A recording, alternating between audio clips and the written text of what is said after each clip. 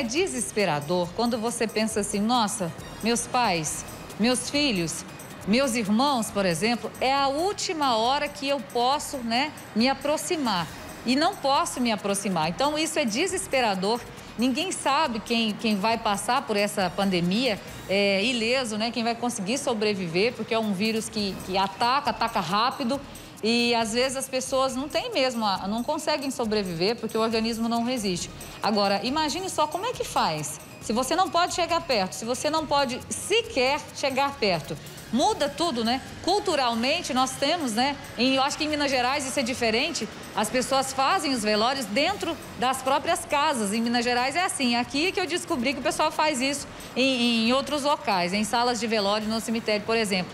Eu não sei para as pessoas aqui como é que elas enxergam isso, mas para mim isso é dolorosíssimo. Olha, o Estênio Marques, ele é psicólogo e vai conversar com a gente sobre isso, que eu acho que tudo que as pessoas precisam agora é um apoio psicológico, né, Estênio? Como é que, como é que a gente faz, por exemplo, para ajudar, se ajudar e ajudar alguém caso isso aconteça? Porque nós não sabemos quem vai passar por isso, né? Bom dia. Bom dia, bom dia a todos.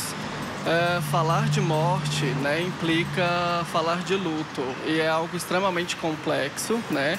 Em uma sociedade em que nós trazemos a morte como um processo de negação, né? Exatamente porque nos causa dor, né? Então aquilo que nos causa dor, a gente às vezes não quer entrar em contato. Mas é importante pensar que com o Covid-19, né, as pessoas realmente não têm tido esse tempo, né, inclusive de despedir, porque é algo que acontece às vezes momentaneamente, né? Então não tem um processo aí de elaboração desse luto, né? O que, o que dificulta muitas vezes é nessa busca de sentido para a vida, né? Que é continuar sem esse ente por Querido, perto. Né? Como Exatamente. se atropelasse esse processo de cura do luto. Isso. E a gente, a gente sabe que é muito importante que nós vivam, vivemos o luto, tá? Porque senão nós vamos viver de luto, né? Então, um processo que pode ser um pouco menor, ele pode perdurar aí por um tempo maior, tá? E o ideal é que nós pudéssemos vivenciar isso, tá? Então, não negar, mas aceitar a situação no sentido até mesmo de compreender a morte como um processo natural, né? E com possibilidades, inclusive, de após o sepultamento termos é, contato, né, com amigos, com familiares, mesmo que seja à distância, né?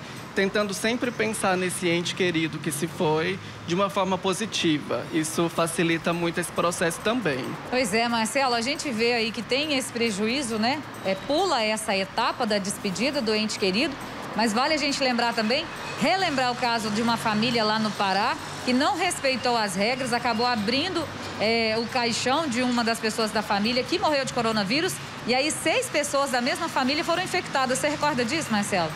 É realmente uma preocupação grande, né? Uma, uma dor imensa. E sem contar o fato do familiar não conseguir se despedir do ente querido, quando o, a, a, pessoa contrai o coronavírus, ela vai para a UTI, a partir do momento que ela é internada, os parentes também não podem visitar. É, e aí já fica uma dor muito grande de você não poder ter contato. E depois, caso essa pessoa morra, a dor, o, o sofrimento é muito grande Às vezes também. a pessoa vai embora sem nem despedir. Não, não tem como nem ver, né? Durante os dias que está no hospital. É muito triste, é muito triste. A gente teve, inclusive, é, pessoas próximas aqui de nós que viveram essa situação e, assim, os parentes não puderam se despedir. Ela entrou para a UTI e de lá não saiu mais, não puderam ver o corpo, enfim, é uma situação muito difícil, Ju, e para a gente encerrar, é, eu queria comentar isso, né, com o nosso entrevistado, assim, a, a, o, o, conselho, a dica é tentar praticar a aceitação mesmo, porque não tem o que fazer além disso, né? Isso, exatamente. É, dentro da psicologia, nós trabalhamos com cinco fases, né, do luto, é, e a primeira delas é a negação, né, passando por às quatro até chegar à aceitação.